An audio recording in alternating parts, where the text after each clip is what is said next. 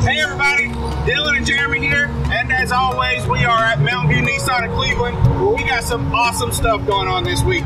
So this weekend we are doing our second annual Midnight Madness event. It's going to be an awesome time. We're going to have food, we're going to have games, we're going to have prizes.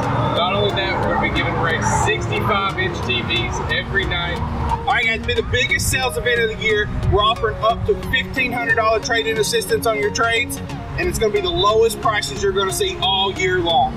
Come in and see us August 13th, 14th, and 15th. We're going to be open from 9 o'clock until midnight. You're going to see big flashing lights. You're going to see a big tent. It's going to be a great time. We'll see y'all there.